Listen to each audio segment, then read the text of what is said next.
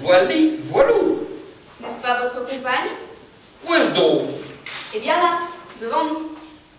Je ne vois personne. Mais si, devant vous. Ah, Mère vous êtes radieuse. Ce n'est pas grâce à notre mari qui feint de ne pas nous reconnaître. Mais à qui diable parlez-vous, très chère? Mais à votre mère ne la voyez-vous point? Hélas, elle a disparu il y a déjà des mois. Ce sera son fantôme, alors. Oh, ne dites pas d'ineptie, elle est là devant nous. Là, regarde-moi, coquin. Pardonnez-moi, Didine, mais je ne vois personne. Vous souffrez sans doute de la chaleur. Venez, je vais vous raccompagner chez vous. Mais, mais...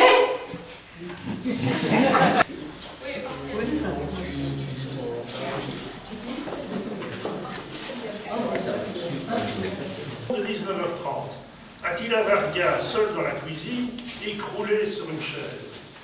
Puis, entre LJ, une bouteille de vin sous le bras.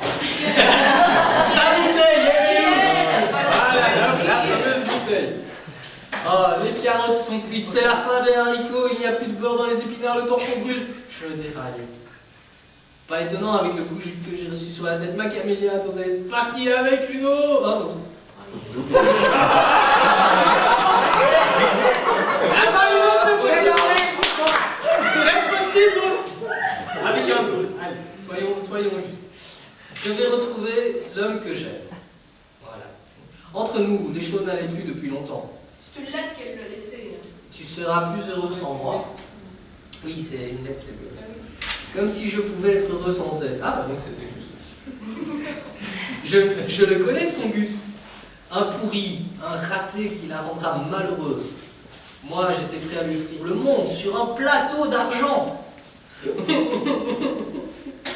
Ça ne va pas fort, comme qui dirait. On dit monsieur le. Dit- Effectivement, voilà. Ça ne va pas fort. Avez-vous déjà été quitté? Des dizaines de fois. Il suffit d'une pour crever de chagrin. Je sais, mais selon l'adage, une de perdue, dix de retrouvée.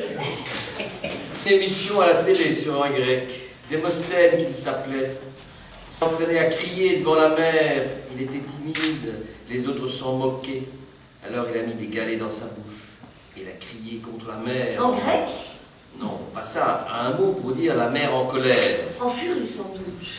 Mais justement, on ne l'entend pas. Écoutez. C'est vrai. Et ici, il n'y a pas de galets. C'est rien que du sable. J'en ai mon sac resté là-bas. J'en avais ramené d'Italie. Je ne suis jamais allé en Grèce, sinon vous pensez. Mais là, je suis seulement venu en éclaireur pour être certain qu'il n'y a personne. Et je me suis perdu. On pourrait vous voler votre sac, comme mes sandales? Pas de risque.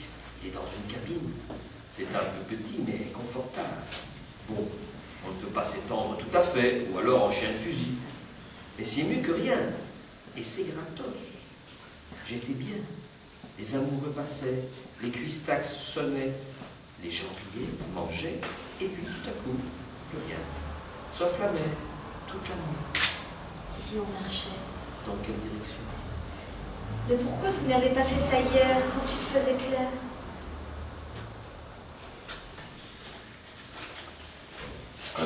Voilà, je vous l'avais dit. Vous parlez le dialecte numipater. Euh, Dites-moi, mon ami, c'est Hermann Lampener qui a remporté la bataille de Hasselt Non, mais dites toujours. Au moins vous, vous connaissez votre histoire. Quand on mène une juste croisade comme la vôtre, mon cher, on ne doit jamais oublier la parole d'un chef. Et alors? Alors, mon ami, le général Hermann Lampener est mon beau-frère. Il a épousé ma sœur Françoise. Pas de fort nom Le nom de Dieu Comme le monde est petit ne savez pas à quel point. Et un jour, quand nous jouions au couillon, un dimanche après-midi, Hermann m'a dit Quand les nordistes auront gagné la guerre, je ferai exécuter tous ceux qui auront battu des sudistes sans mon autorisation. Je beau colosse. Hugo m'a dit, tout ce qu'il touchait, tu disais, Frères humains qui après nous vivez, les poings contre nous, le cœur endurci, mais priez Dieu que tous nous veuillent absoudre. avec des mots tout simples, comme vous vous aimez encore aujourd'hui aussi. Tu t'attendrissais tout seul Ce que tu as pu nous gaver. de ta littérature. Et ne pas te contredire. Toi, qui nous baratinais tout le temps avec l'esprit critique. Toi, le prof, tu n'admettais jamais la moindre critique. Jamais.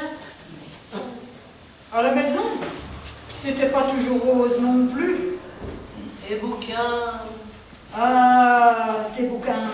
Il y en avait partout de tes bouquins. Jusque dans les cabinets. Et dans la chambre à coucher. Et la nuit, quand le sommeil te fuyait, tu allumais ta lampe Pour lire. Sans t'excuser. et tu me réveillais. Tu Et quand tu ne lisais pas, tu ronflais. Oui, ça je m'en souviens aussi. On commence là et on termine. ici. Voilà. Ah, j'ai pas ma bouteille. Ah, Ah, ma bouteille. vous avez raison, vous ne m'inquiétez pour rien. Exactement. Vous ne faites pas de pile. Je vous offrirais bien un petit verre, mais je pense que ma boisson ne vous conviendrait pas. C'est un élixir maison. On peut le voir comme ça, ouais. Trop fort pour une âme sensible comme moi Hum, vous brûlez. Moi, ce que c'est. Regardez. Vois ça beau.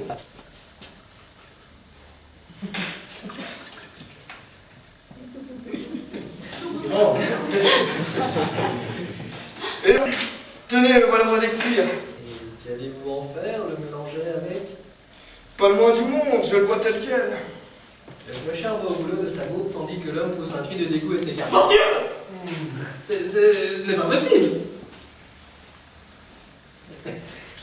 Vous le voyez bien que c'est possible. Mais vous êtes dingue C'est complètement mignon Calmez-vous, je ne vous ai pas demandé d'en boire. Ah, plutôt mourir de je n'y crois pas.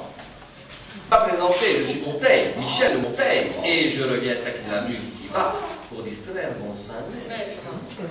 Mais, Le pape de Montaigne et Saint-Pierre qui s'emmerde au ciel, sans que je vais y laisser ma. Moi, dans cette ascenseur.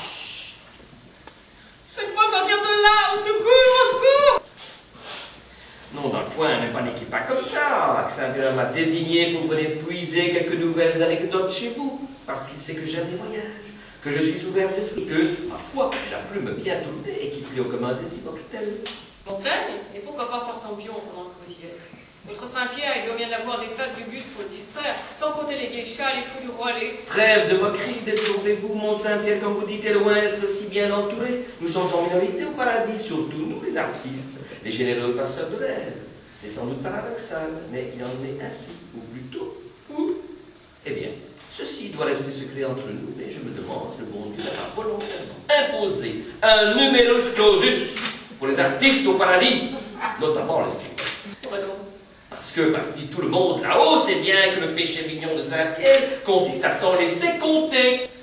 Il vendrait même son âme au diable pour une nouvelle histoire. Effectivement,